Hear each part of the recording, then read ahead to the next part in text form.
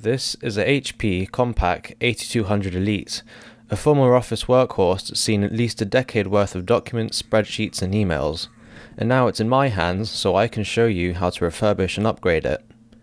This Compaq 8200 Elite is the base model of the slim form factor edition, featuring an Intel Core i3-2100, 2GB of DDR3 RAM, and a basic 500GB hard drive. It features the Intel Q67 Express chipset, meaning any Sandy Bridge Intel processor can be put in it, making it a versatile base for a useful computer. It'd do a great job as a starter home server machine or even a personal computer. The power can be put there if you really need it.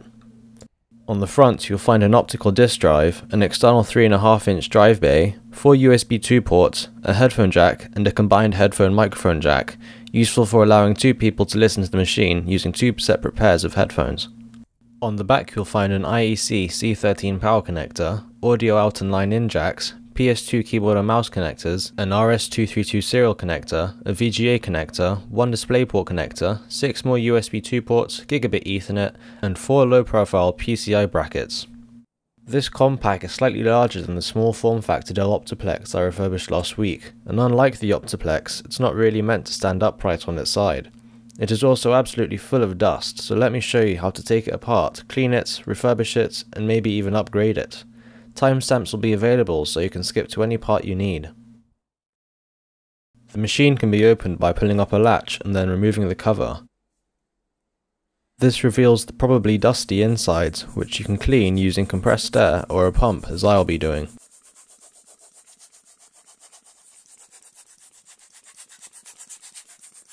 To remove the front panel for cleaning, detach it from the clips on the top and pull it off when it's loose. As you can see, this machine is absolutely filthy from the time it's been used.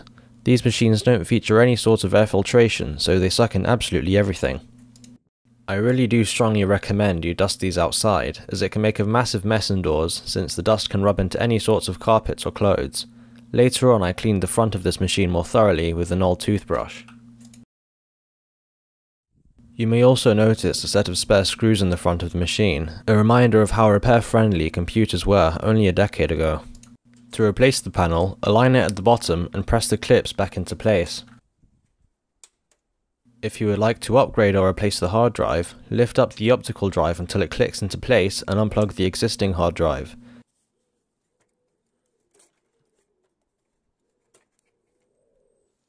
Then you can lift up on the power supply, push on the green plastic tab and slide the hard drive forwards and pull it out of the bay. Afterwards, remove the mounting pieces with a Torx T10 screwdriver or a thin enough flathead screwdriver and replace them on the replacement hard drive as shown here. You can reinstall the hard drive by aligning the mounting screws with the spaces in the bay and lowering it into place, and then pushing it towards the power supply so the green latch makes a click. If you would like to upgrade or replace the memory, press the clips holding the memory modules down and to the side as shown here to release the stick, and open any more clips you would like depending on how many sticks you want to add. Align the modules you want to install with the slot and press down the modules firmly on each side so the clips click back into place. Then you can pull the optical drive and power supply back down again. If you would like to upgrade or replace the processor, remove the shroud by removing any cables from the cable tidy on the side and pulling the shroud upwards. Then begin unscrewing the heatsink from the motherboard using a Torx T10 screwdriver, alternating between different screws to keep pressure on the processor even.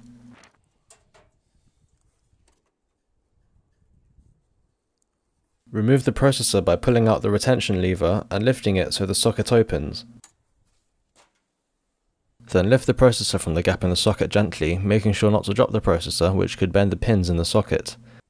Then clean the old thermal paste from the processor with tissue and alcohol and do the same with the cold plate of the heatsink. You can easily upgrade the processor in this machine to anything ranging from a more powerful i3 to the most powerful i7 from the Sandy Bridge era. However, I'll stick to the normal Core i3 for this. To install the processor, align the golden triangle on the corner with the white dot on the corner of the socket, and lower it gently into the socket so it is seated. Then, lower the retainer and make sure the tip goes snugly under the head of the screw in front of the socket. Push the retention lever down gently and tuck it under the protrusion from the retainer. Then, you can apply thermal paste and install the heatsink again, aligning the screws with their corresponding holes. Tighten the heatsink securely, alternating between different screws to keep pressure even on the processor. If you would like to clean an intake fan, take off the front panel as was shown at the time on screen and unclip the fan shroud from the metal panel, remembering to disconnect the fan from the motherboard. The fan assembly can be cleaned easily with an old toothbrush and compressed air. However, if you blow the dust out with compressed air or a pump, keep the fan blades still as blasting them with air and then rotating at high speed with the pushing force against them can damage the bearings.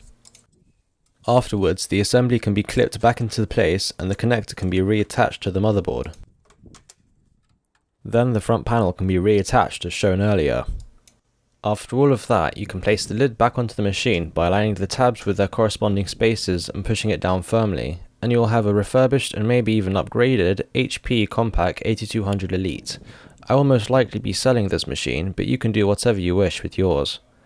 Thank you for watching, and I hope you enjoyed this video. If you found it helpful, please like the video and maybe even subscribe, although my content isn't very related most of the time.